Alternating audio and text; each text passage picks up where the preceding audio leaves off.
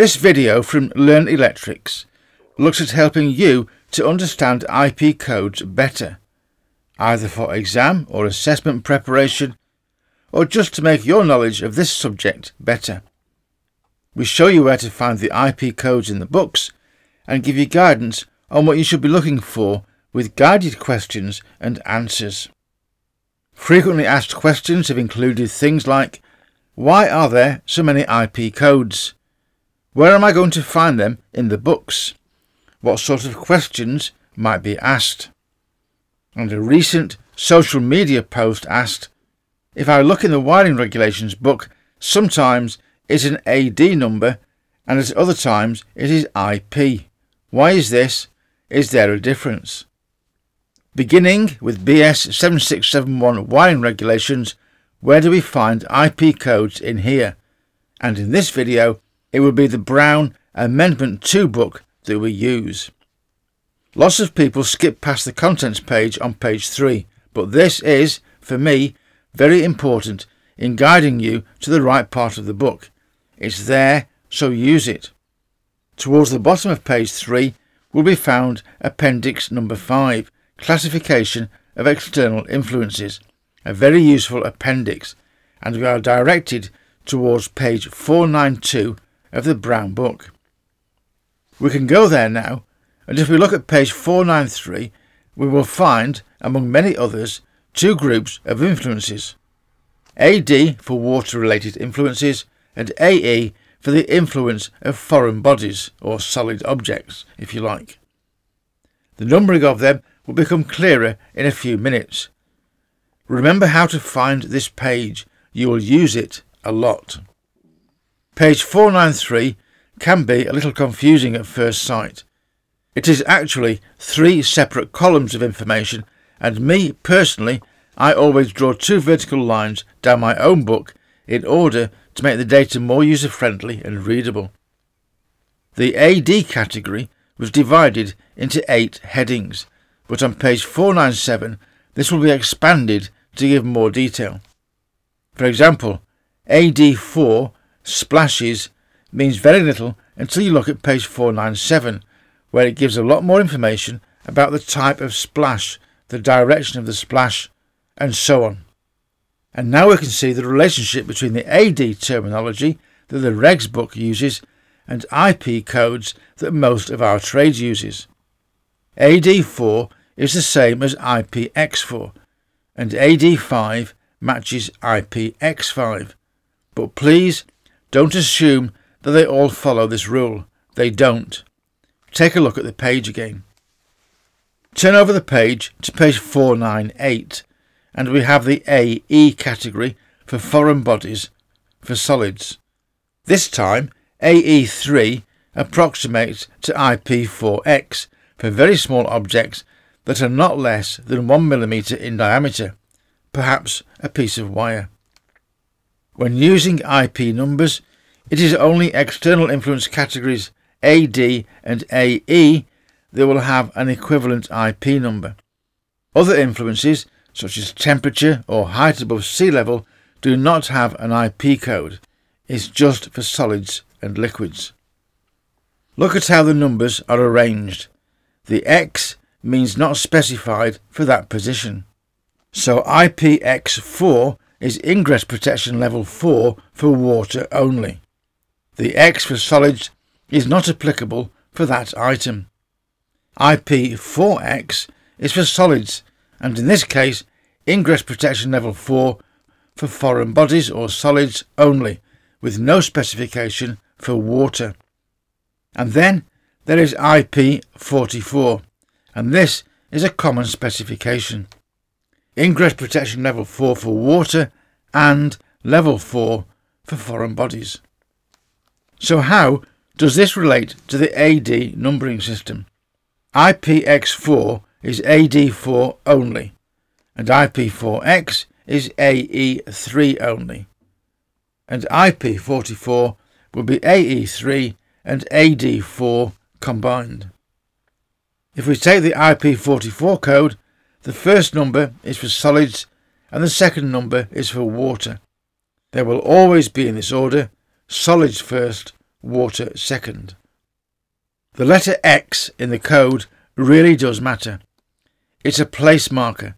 It helps us to decide if we are talking about solids or liquids. If we only had IP4, do we mean IPX4 or do we mean IP4X? It matters. Look at bathroom locations as an example on page 244 of the Brown Book. Inside the bathtub itself will be zone 0. Any installed electrical equipment, lights perhaps, must be protected against the ingress of water to at least IPX7. Compare this with swimming pool locations on page 249. There is still a zone 0 inside the swimming pool, but the IP code is now IPX8. This is because a swimming pool can have more depth than a bathtub, and greater depth means greater water pressure and a need for a greater degree of protection. And notice that on this page there is also an AD code specified, AD8, the same as IPX8. So the regs will sometimes use only IP codes, sometimes only AD or AE codes, and sometimes a mixture of both. Now look at caravan and camping parks on page 268 in particular. Again, the page has AD and AE references and also quotes IP numbers. We must be able to interchange these different standards and understanding Appendix 5 is a good starting point. What does the index say about IP codes? Will the index help us to find the right numbers? Well, let's look. Find page 592 in the regs book where we have an entry that says IP codes C degree of protection. Okay, let's go to page 583 then and search for degree of protection. Here we will find lots of locations that reference IP codes that have their own particular requirements. Again, learn to find this page quickly, especially in electrical exams. Any regulation beginning with a 700 number, such as 701, 702, etc., will be a special location mentioned in Part 7 of the book, and regulations with a 400 number will be in the general part of the regulations book under Part 4 for safety. The On-Site Guide, or OSG, contains some brief but very useful references to IP codes. Do not overlook the information that is in the On-Site Guide, the Brown Amendment 2 edition. Appendix L on page 233 of the On-Site Guide is where we need to be, and we should all have a copy of this. There are only two pages to the appendix, but they are so very useful and will help enormously in your understanding. Some domestic electricians will have a copy of the Electrician's Guide to the Building Regulations, but to be honest, a lot of the information it contains is also relevant to commercial and industrial premises, especially the tables on cable lengths, breaker sizes and ZS measurements. But more on this in another video. The book we use here has a brown stripe across the front cover to show it is updated to Amendment 2. If you have the book, take a look at pages 81 and 86. The two tables shown describe different scenarios and the IP codes that apply. Remember the swimming pools are different to bathrooms. Now that we've talked about the books, let's put that knowledge into practice. We have here eight very easy questions that will reinforce your understanding. The questions are guided, meaning that we actually tell you where to look, the relevant pages, and this helps you to begin to recognise the different parts of the book and where to find the answers during an exam. Imitating exam style questions, there are four possible answers to choose from. Only one is the most appropriate for that question. Take your time with them, read the actual question on the first slide of each question, and pause the video to attempt an answer yourself if you wish. You will certainly benefit from this. The next slide for each question will give you our suggestion of where to find the answer, the page number and the regulation involved. Question 1 then. Section 416 of BS 7671 requires that the horizontal top surface of a barrier or enclosure, which is readily accessible, shall provide a degree of protection of at least what? And four possible answers as you will find in online exams. Pause the video if you're confident and make a choice. Answers are on the next slide. The question tells us to go to section 416, which begins on page 80 of BS 7671. Looking at regulation 416.2.2, we have the answer that we seek. The degree of protection should be at least IPXXD or IP4X, and we should choose answer C. The answer to question 2 will be found in the on-site guide. The question is, according to the on-site guide, Appendix L, a degree of protection of IPXXB indicates that something and we need to complete the wording. Four choices, pause the video and look for the answer in the on-site guide. We should refer to Appendix L of the on-site guide. It's on pages 233 and 234, just the two pages. Looking down the list of IP numbers, we will find IP XXB and the wording access of a finger shall not be possible. So we should choose answer D. Now for question 3. It asks, Section 416 of BS 7671 requires that live parts shall be inside enclosures or behind barriers with a degree of protection of at least, and then four choices of answer. All the information that you need is in the question. Pause the video and find the answer. The question tells us it is in section 416 and this begins on page 80 of BS 7671 wiring regulations and regulation 416.2.1 gives us the answer which is IPXXB or IP2X so choose answer D. Question 4 is next. In a bathroom, the installed electrical equipment in Zone 0 shall have a degree of protection of at least what? And four choices. Regulations specific to bathrooms are found in Part 7 of the regulations in their own section. So find section 701 beginning on page 242 and then look for regulation 701.512.2 external influences. The answer is then easily found. It says in zone 0 at least IPX7 and we will choose answer D. This is question 5.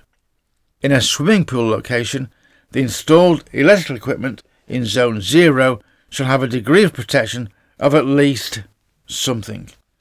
Pause the video, find the right section and attempt an answer. Here is the answer. Swimming pool locations are in Part 7 of the BS 7671 Wiring Regulations book. Find section 702 beginning on page 247 and then find regulation 702.512.2 external influences.